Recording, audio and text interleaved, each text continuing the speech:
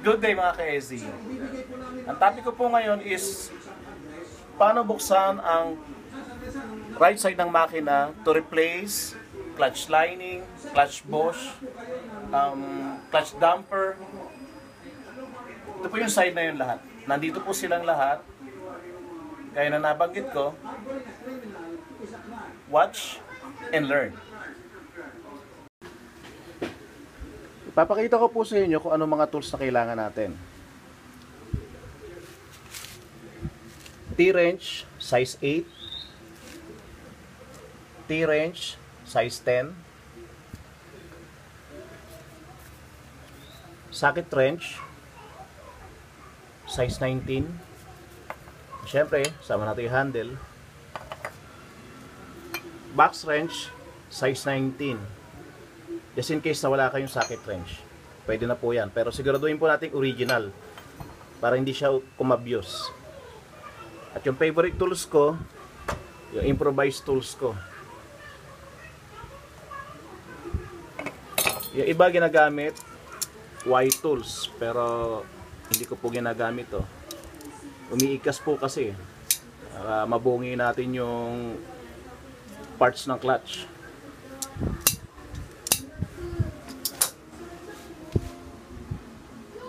Okay, simulan natin operasyon. Watch and learn. Okay, simulan po natin sa pagtatanggal ng kickstart.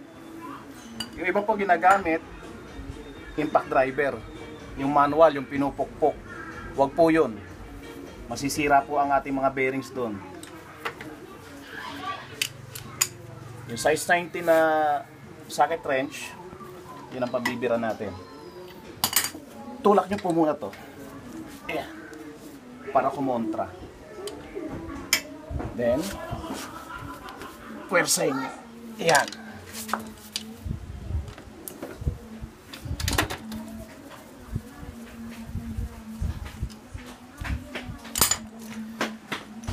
Maglagay po kayo ng sahuran para hindi mawala yung mga tornilyo natin. Just in case may makalimutan kayo, at least marirecall ninyo pag nandito nakasahod.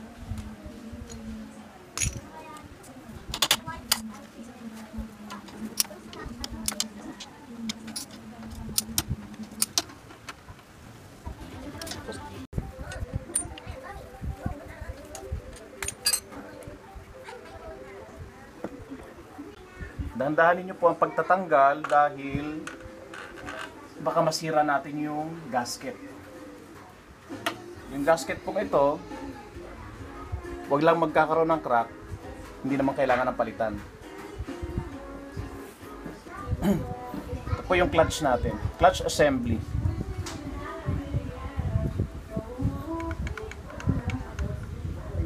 Ito po yung clutch lining, yan po yung papalitan natin. Usually po, uh, size 10 to. Size 10 bolt.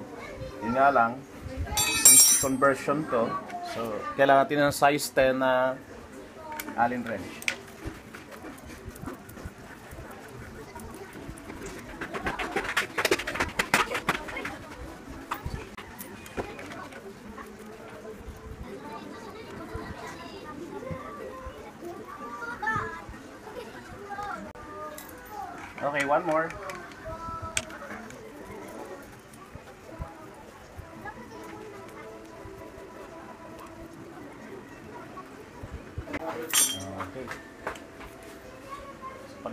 Natin yung apat na tornilyo, uh, may spring, mauhugot na po natin ang ating clutch lining.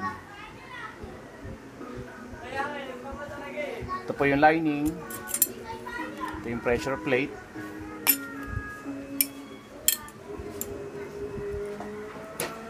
Ito kailangan ng palitan, medyo pulpud oh. Compare dito. Buo pa siya.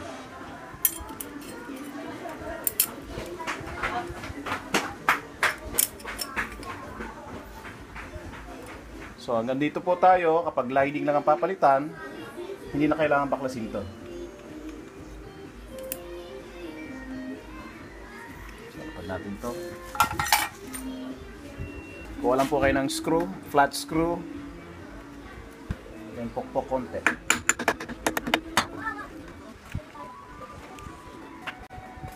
Huwag po natin kalimutan yung clip kasi hindi natin bubuksan tong nut na to kung hmm. nandiyan yung clip na yan. Ay, bago ko makalimutan. Hugutin po natin yung strainer. Ito po yung strainer, usually ito yan oh. Diyan, yan ang sumasala ng dumi. Yung mga residue na yan. Nakikita nyo po. Ayan po yung residue. Linisan po natin yan. Huwag natin kalimutan. Pag malinis na, balik natin. Huwag na huwag niyong kalimutan hindi ibalik ha. Yari kayo dyan. Ito pong butas na to, nandito po yung bearing natin, yung push rod, clutch push rod. Pag ordinary tools, hindi nyo po mahuhugot yan. Kailangan nyo ng magnet or tools, na special tools na may magnet. Eh, since ako wala akong ganun, eh, magnet literal.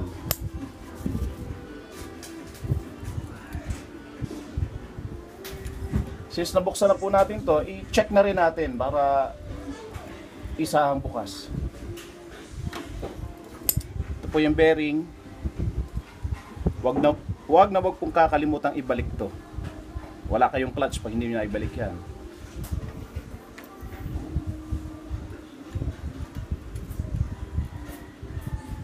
Ito yung push rod natin. Yan. Clutch push rod. I-double check nyo po kasi nagma-marking po yan. Ayan. Malaking diferensya po yan kapag may marking yan. Malaking diferensya sa clutch natin. So kung meron din lang kayong nabiling stock or meron kayong spare, palitan na po natin. Napupudpud po kasi yan. Ayan. Both side napupudpud. Ito, may tama na yan. Makita nyo po, may guhit siya. Kaya nakalbo yung kabilang side ng lining natin. Yung kabila okay siya. Since ito may tama, madali niyang pinudpod. So papalitan na rin po natin yan. Buy original parts ng Yamaha. Buy original para mas mata mas matibay at mas fit. Available po yan kay Sir George Arias. Uh, legit seller ng Yamaha parts.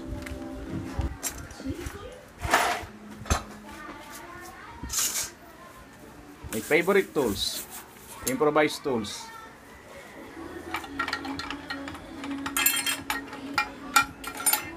Ito yan, no? Winelding ko lang. Lagyan ko ng handle. Kaya sukat na sukat siya.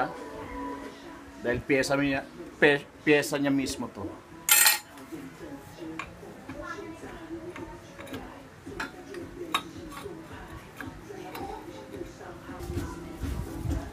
Then yung size 90 natin.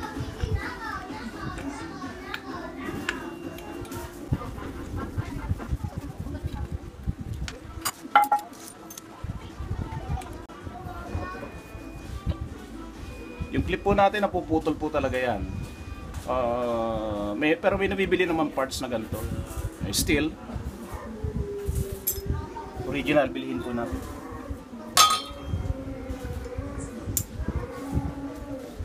Uh, papansin po ninyo, gas-gas na siya.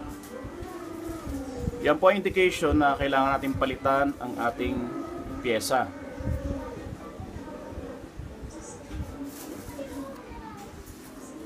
Pag may gas-gas po yan, madaling masisira yung lining.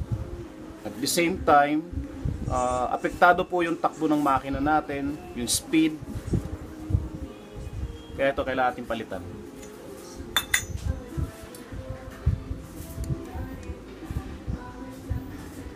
Ito po yung lock para mabunot natin tong clutch housing. Ito po yung clutch housing natin. Nasa loob nito yung clutch damper. Yan po yung pinapalitan na clutch damper. Ito yung pang-replace natin. Bio. Original parts din ng TMX Honda. Para sigurado ka.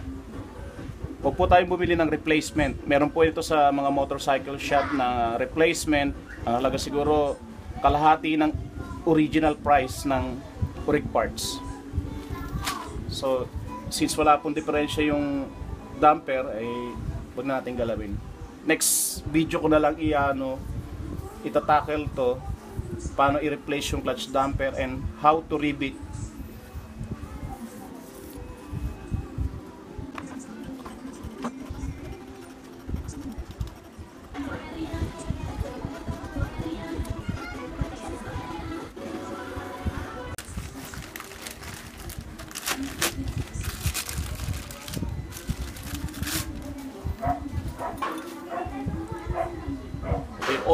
yung bago.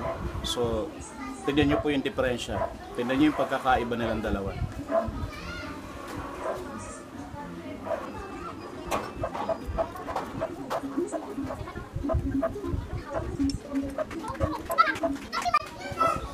Siguraduhin po natin na yung slot na yan is nakapasok doon. Kasi yan, dyan po yung lock.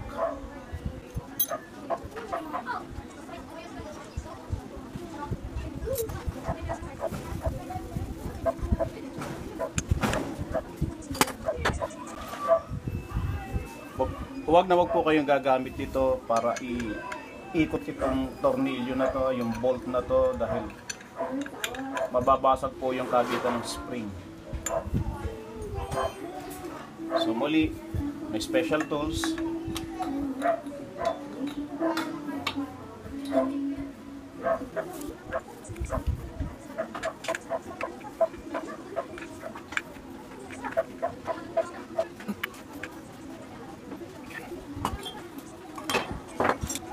Natin, huwag kalimutan lock.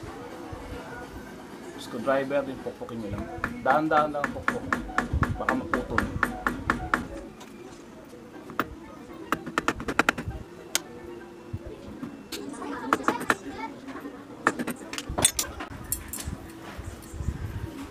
Pag binilik nyo po or nagpalit kayo ng lining, hindi po pwedeng ikabit ninyo na tuyong-tuyo yan. Kailangan po natin basain or ibabad sa langis.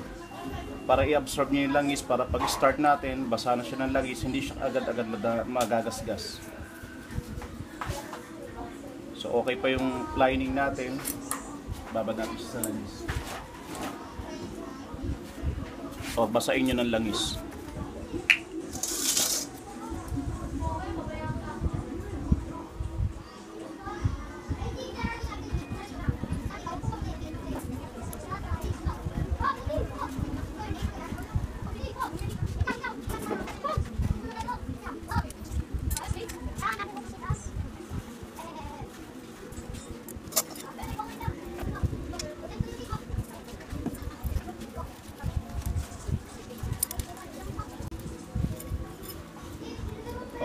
Sa kaalaman po,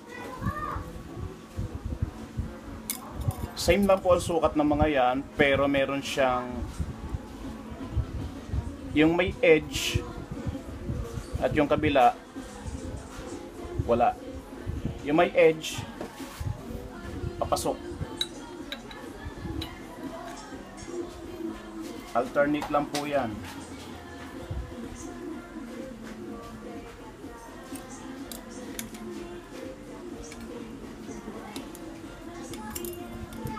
May talim po, doon nakaharap.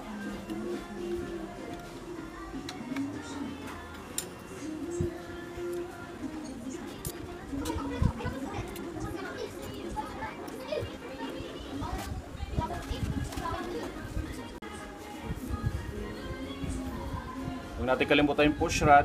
Kung may parts po kayo, palitan nyo na lang.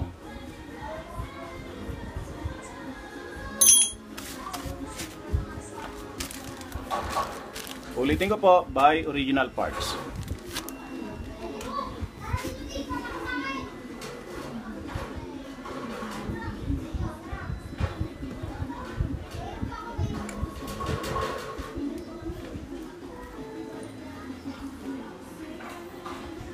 Yung bearing natin, wag natin kalimutan. Ah, I mean, bulitas.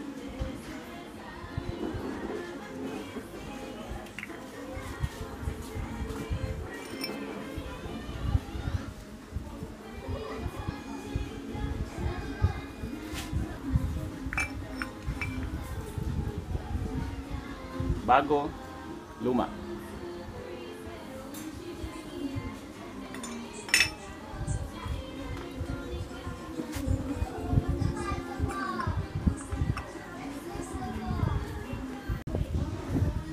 I-transfer nyo lang po yung adjuster natin sa bago.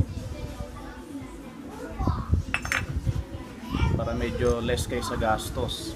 Pero may available naman po niyan. Kung gusto nyo ng bago. Transfer nyo lang. Yan po yung adjuster.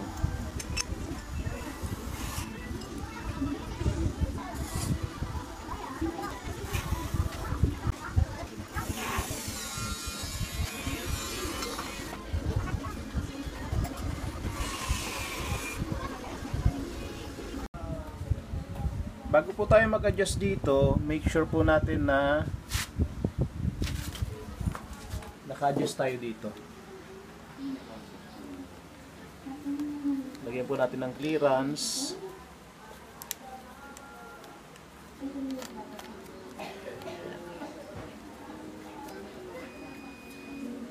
Kasi pag hindi natin na- na-adjust to, eh, sagad na kagad yung ano natin, wala tayo adjustment. So, kailangan natin i- i-adjust. Mamaya natin higpitan.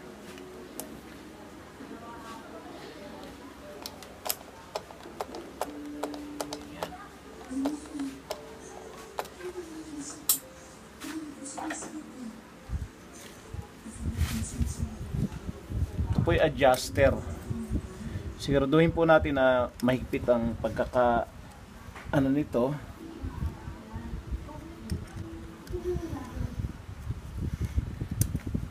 Yan, hindi po pwedeng gumagalaw yan.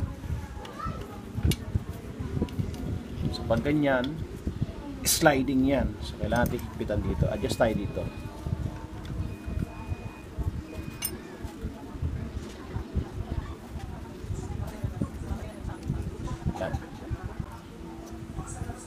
Pag inikot nyo tong part na to na hindi siya na hindi na siya umi, gumagalaw, hindi na siya umiikot, hindi sumasama kumbaga. Yan. So ibig sabihin intact tayo diyan. Kapit na kapit yung clutch natin. I-grip nyo to, tingnan nyo yung clearance ng ano, then ikutin nyo. So, pag umikot, so ibig sabihin, effective yung adjustment natin. Bitawan natin yung clutch lever, ikutin mo, ay umikot. So, yan.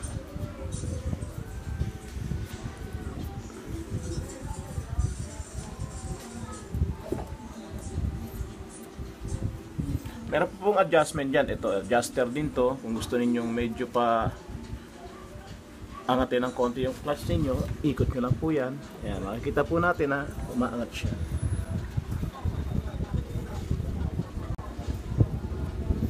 Po, adjuster po yan.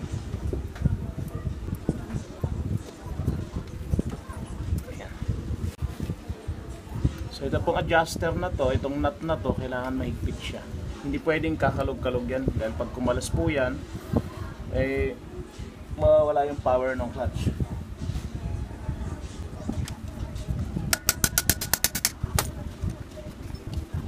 Pag kumalas po yung tornilyo na yan, ah, nut bolt na yan, ah,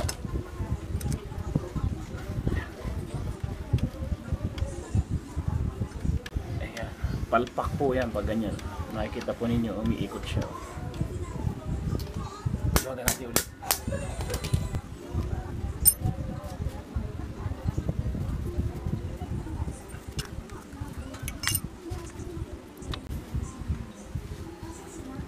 So, ang paghihigpit po, uh, Phillips screw and size 10.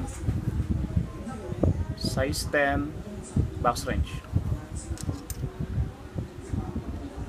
Basta kailangan po kontrahin nyo yung tornilyo to para hindi siya sumabay sa ikot ng nut.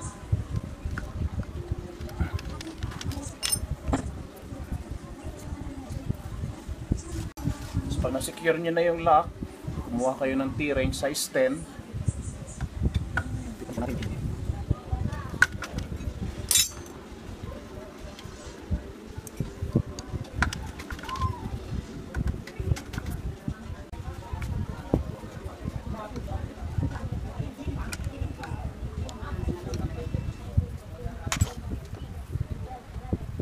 Na-fix na po natin. So, pwede tayo mag-adjust.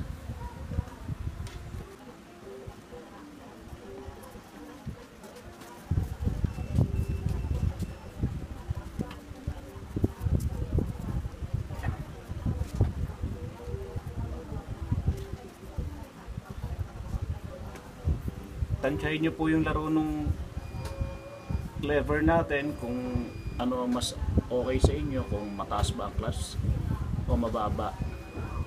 Meron naman pong ano yan, adjuster. So kayo na po bahala mag-adjust kung ano ang pasok sa inyo. Since ako ma, ano ako mag-clutch mababaw so okay sa akin to.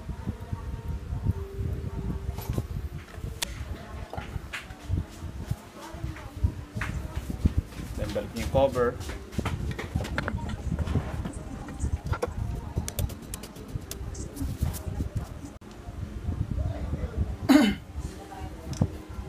nga pala sa first time na first timer na pagbukas nito eh medyo mahirap tanggalin tong cover na to.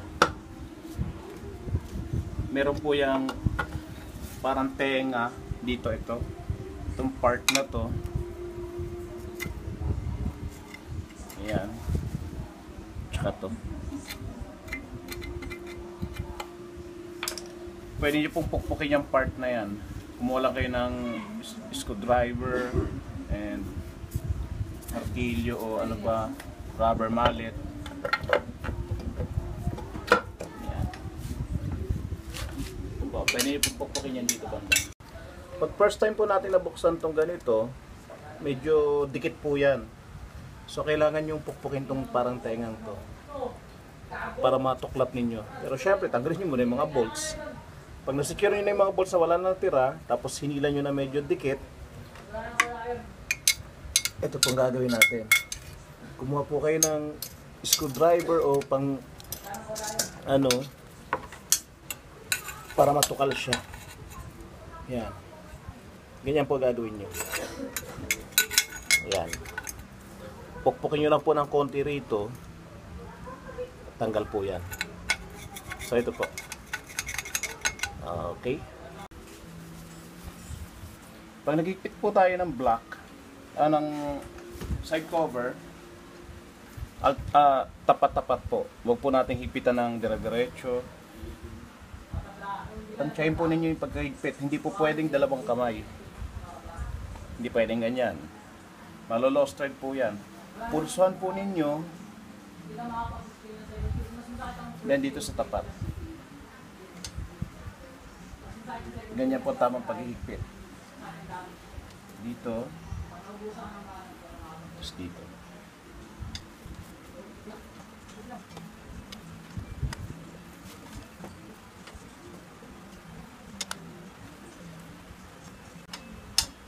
Ulitin ko po, wag po kayo maghigpit ng dalawang kamay.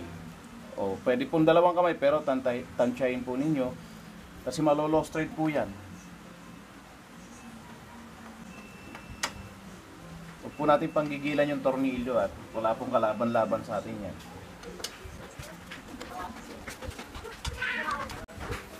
Ayun, pag nabalance na natin yung higpit, yan, pwede nyo nang pagsunod-sunurin ng higpit. Pagpihit pa nga.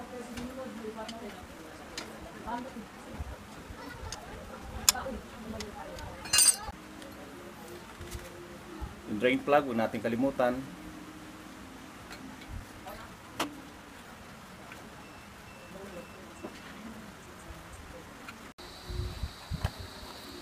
Uh, replacement po ng parts natin, uh, yung oils, oil filter, pambadya. Pwede po yan. Yung may spring po.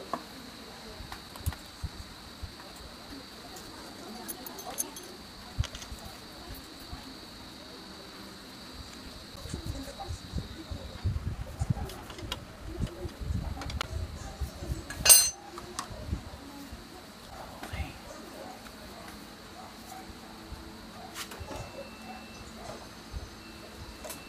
So, ganun lang po pag bubukas ng right side cover, pag nagpalit kayo ng clutch damper, clutch lining,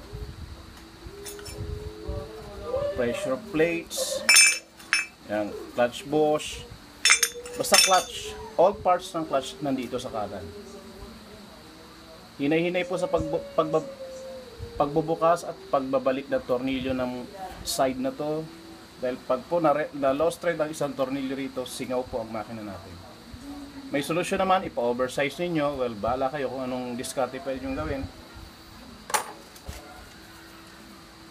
Pagdating naman po sa oil, kunin nyo po yung dub 20W50 or 20W40. Yun po ang dapat sa makina natin. Ulitin ko po, 20W50 or 20W40. Yan po applicable sa makina natin, kahit po tingnan nyo sa manual. So, ang gagamitin ko po is synthetic oil.